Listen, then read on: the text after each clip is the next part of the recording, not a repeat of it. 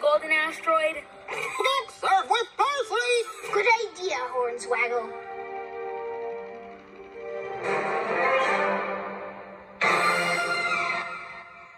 We sure focused on the important stuff. We saved Earth. I never did find out why it looked golden. I think I might know. A tiny part of the golden asteroid. Interesting. This is called Fool's Gold. Its real name is iron pyrites. It's just rock, but it looks like gold. I've struck gold. Squirt the ketchup. That's right, Hornswoggle. We're rich. Upload the anchor, Flybot Sally. But it's not really gold. we can explain another time. We'll see him soon enough. PJ Masks, all shout hooray!